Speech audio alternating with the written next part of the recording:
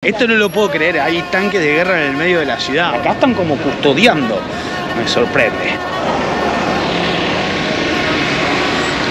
Toda esta zona está vallada, ahí atrás está la policía, está prohibido grabar, lo estoy haciendo con mucho cuidado porque quiero mostrárselo, pero claramente no se puede.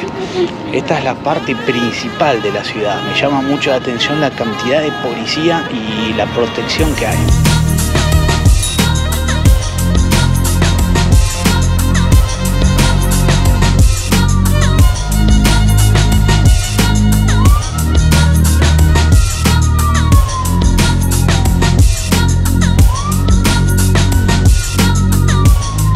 Estamos en Túnez, en la capital homónima del país, al norte de África. La historia reciente de este país estuvo convulsionada con revueltas populares que el resto del mundo llamó la primavera árabe. Revolución de la que aún podemos ver algunos resabios. Por lo general la avenida está vallada, tienen estos andamios que funcionan como protección, imagino que para que no crucen los autos hacia lo que sería la zona comercial, porque estamos en una zona de atentados. Aquí se han producido en los últimos años algunos atentados bien nocivos para la capital con muchas víctimas fatales. Sin embargo, al día de hoy estaría bastante controlado todo, pero existen estas normas de seguridad que son muy estrictas. Imagino que por eso también el tema de la policía. La plaza que tienen los tanques de guerra es la Plaza de la Independencia. Es donde el pueblo vino a festejar en 1956 que se independizaron del protectorado francés que regía en todo el territorio nacional. Al mismo tiempo tiene una importancia vital para la actividad civil dentro del país. Aquí donde vienen a manifestarse. Sin duda la primavera árabe fue una de las revoluciones populares más grandes del siglo XXI, que incluyó a varios países de la región en contra de los regímenes autoritarios que los gobernaban. Esta revolución comenzó el 17 de diciembre del 2010 con la inmolación de un vendedor ambulante en un pueblo cercano a Túnez.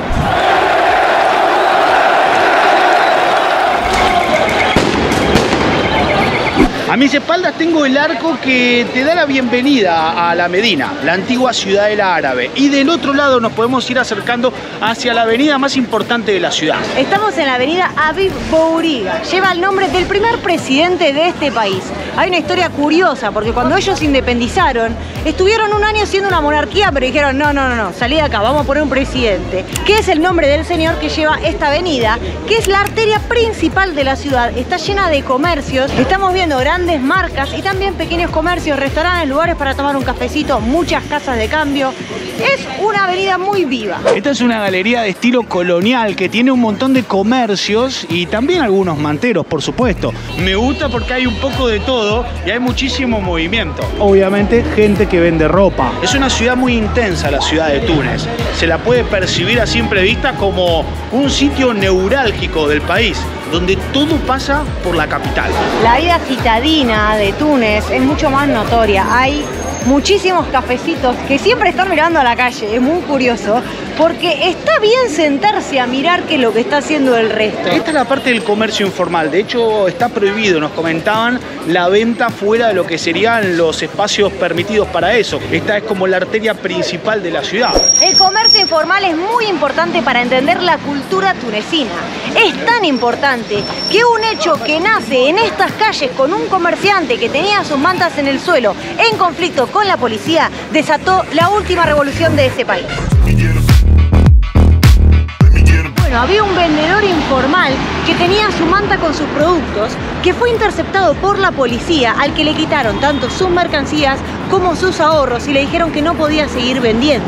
El vendedor, totalmente indefenso, decidió inmolarse en frente de los policías, lo que desató la ira del pueblo, pidiendo mejores condiciones sociales de trabajo y disminuyendo el abuso de poder por parte de la policía. Las protestas se fueron difundiendo poco a poco por redes sociales, logrando un hito en la era digital, que gran parte de la población de los países árabes se sumaran a este reclamo que comenzó en Túnez y comenzaran a exigir también mejoras en sus respectivos países. La primavera árabe en Túnez logró destituir al presidente que estaba en ejercicio desde el año 87. Así como también evitar que se sigan estaban propagando gobiernos dictatoriales que para ese entonces gobernaban gran parte de los países de la región. Túnez es el único país que logró con la revolución establecer una democracia presidencialista. Firmaron una nueva constitución en la cual, entre otras cosas, se declara la igualdad entre hombres y entre mujeres y la libertad de religión. Algo que pareciera normal en la mayoría de los países occidentales, sin embargo fue toda una revolución para Túnez. Miren, nos encontramos con una imponente catedral de estilo árabe, pero también europeo. De hecho tiene como las cúpulas parecidas a lo que sería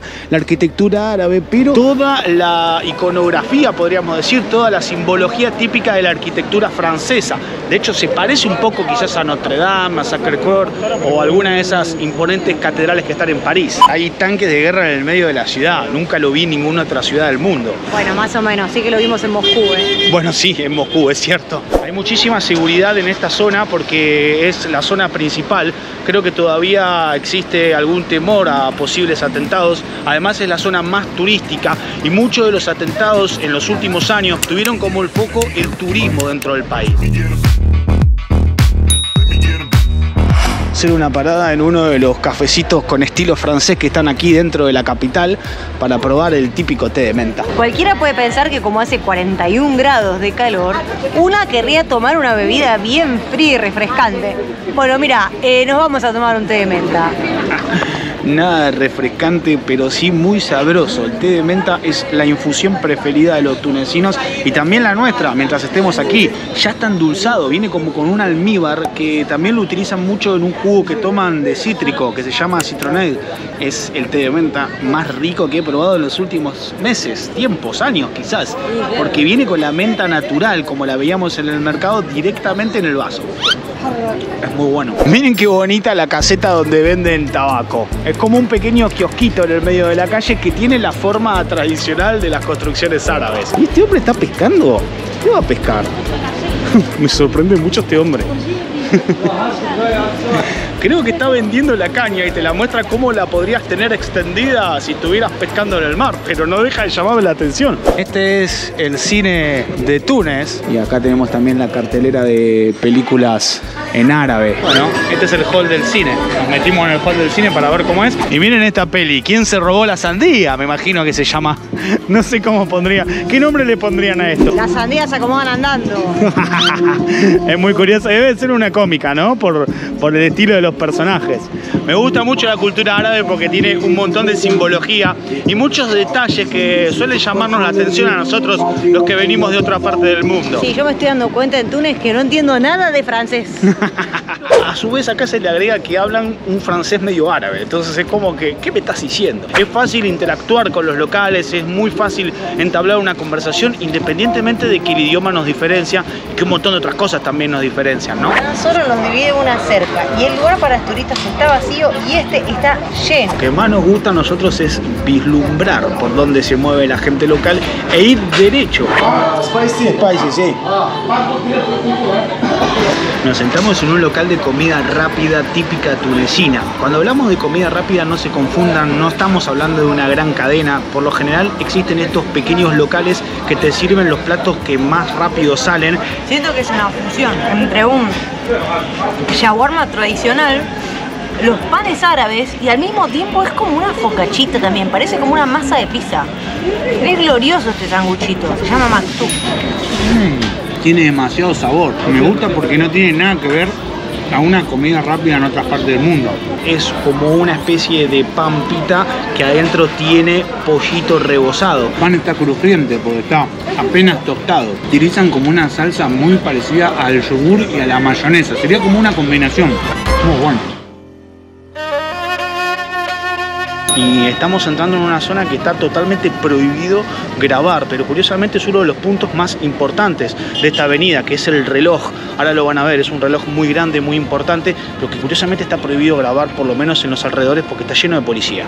Mucha secuencia, no me parece cómodo vivir con un tanque de guerra, con toda esta policía o con la avenida principal vallada. Luego de las revueltas populares implementaron una ley en Túnez que prohíbe grabar o sacarle fotos a los edificios gubernamentales.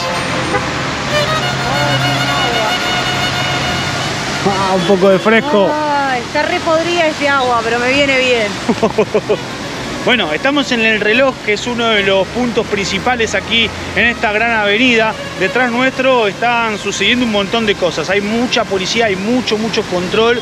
Están, por lo general, algunos policías uniformados y otros tantos de civil que aparecen como caminando con motos. Estuvimos viendo que bajaba como una comitiva oficial, una delegación diplomática o algo por el estilo. Y eh, eso, por lo general, origina también todo un mayor movimiento de seguridad. Esta podríamos decir que es la zona más segura de la capital, porque aquí es donde están prácticamente todos los policías que hemos visto. No hay en otras partes, tantos como acá. El reloj no está en hora, marca una y cinco acá y una y diez allá. bueno, este país tiene muchas curiosidades. La verdad que hay que destacar toda la bondad y hospitalidad que suelen tener los tunecinos y tunecinas con el turismo. Por lo general, siempre que te ven, te tratan de la mejor manera y intentan ayudarte para sentirte confiado y seguro. Pero al mismo tiempo también hay un montón de cosas que pasan por debajo de la mesa. Cosas que quizás no están tan visibles para quienes visitamos la ciudad de paso y que solo aquellas personas que viven, que residen aquí, podrían contarnos con profundidad. Me gustaría leer sus comentarios sobre qué opinan de este país y todo lo que les estamos mostrando.